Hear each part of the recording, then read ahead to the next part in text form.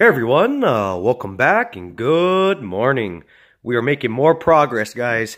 So actually, today's video, we're going to be working on the power room. We're going to go ahead and try to get this all squared away. Uh, so if you guys are unfamiliar, we are building a brand new off-grid home here. Um, the home is, you know, under progress, as you guys can see in here. Uh, the drywall is almost done. The plumber is done, so we can finally close everything off in mud and tape, sand everything down, primer and paint, right? Um, but today's video, we're talking about the off-grid power room. This power room is going to be supplying all the power to the main house um, for, you know, lights, sockets, refrigerator, um, and so on and so on and so on. Uh, this is going to be powered with wind and solar. Uh, and it's going to have some pretty unique components and the way it's going to be connected and how it's all going to work. Uh, so, you know, we definitely need to get this um, finished. Okay, I also have a video series on building the off-grid power room. So if you guys haven't seen that videos, um, I have from part one, I believe, all the way up to like part 20. Uh, so definitely check out those videos, guys. Uh, so in the last video on the update of the power room, um, we finally installed all the rest of the um, drywall. Um, so what I need to do is um, do three major things. Uh, I need to mud and tape and sand all the drywall so we have a nice finished walls in there. And then that way I can primer and paint, right? Uh, and then as far as the exterior, I just have to finish putting the trim on and yesterday I actually went down um, to the other side of the island and looked at doors. Um, so I found um, two doors and I think I made a decision on one of them. Um, one of the doors is actually, it's going to be an all metal door, right? Just like my front door here, it's all metal. Um, but the middle of it is going to have one big piece of glass right? And so what that's going to allow is going to allow a lot of light in, right? Um, because there's no windows on this. And I didn't want windows on this um, purposely. So, because um, I planned on, when I bought the door, I was going to have a big window in it.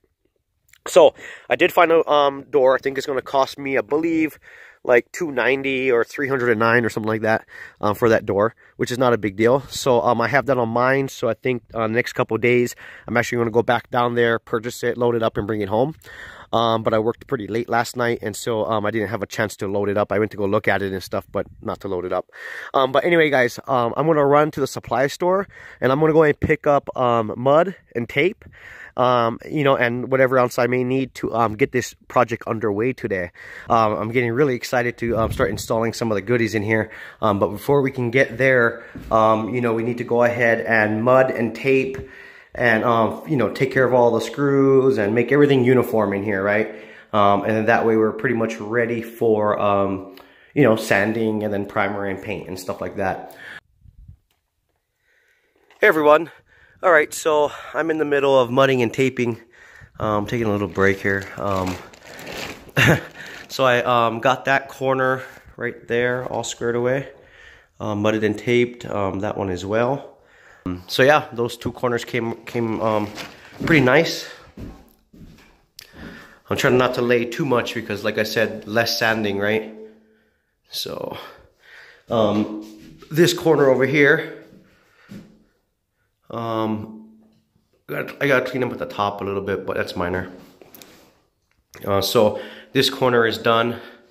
Um, I need to do this corner right here uh, then my four corners will be done.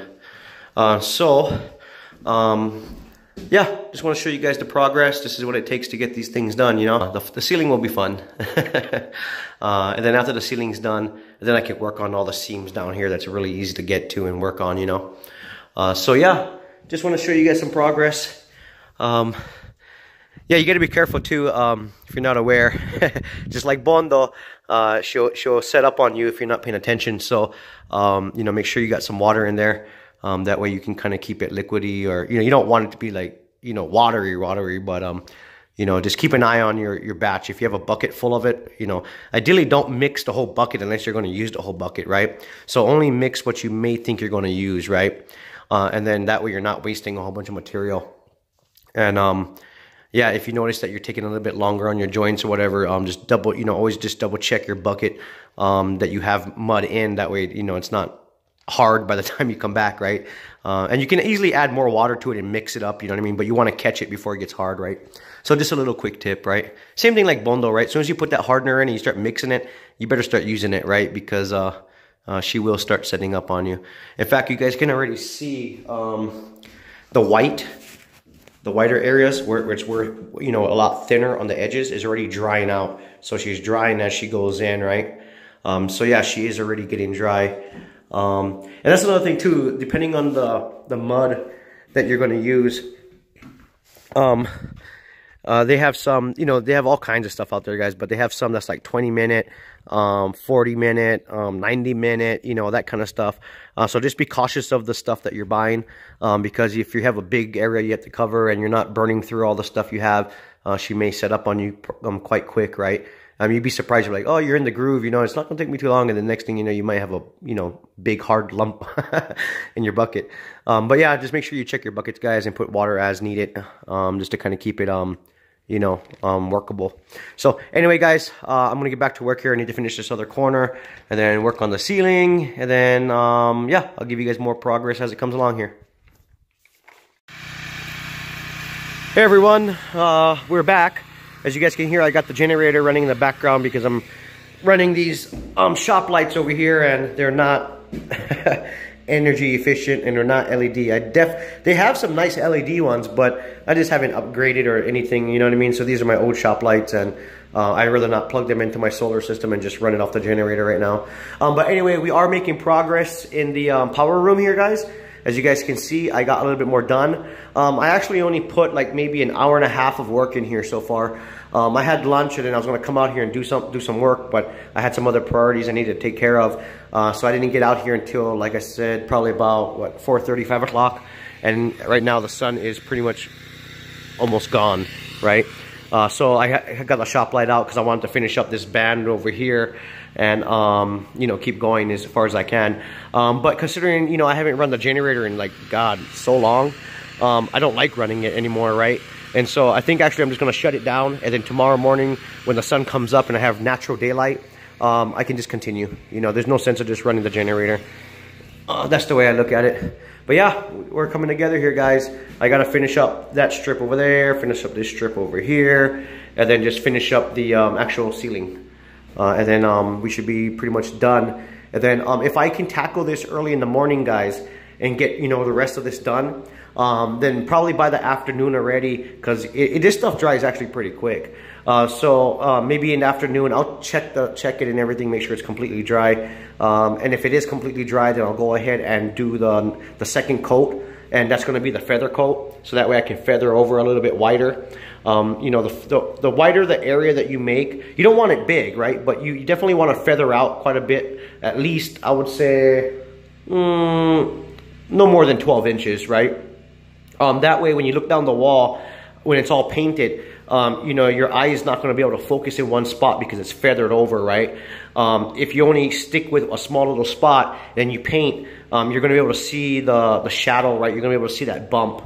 Um, and there is always a bump because, you know, we have two pieces of drywall you know, together, right? And then when you fill in that gap with mud, and then you put the drywall, I mean, the tape on top of that, right? Um, but that that tape, you know, creates a small bump, right? And so, you know, you, you kind of want to feather that out so that way uh, when it's all said and done, um, you don't see these um, bumps, you know what I mean? So anyway, guys, I'm going to go ahead and turn off that generator, call it a night, and then I'll come back out here and continue. Um, but yeah, guys, we are making some progress on this.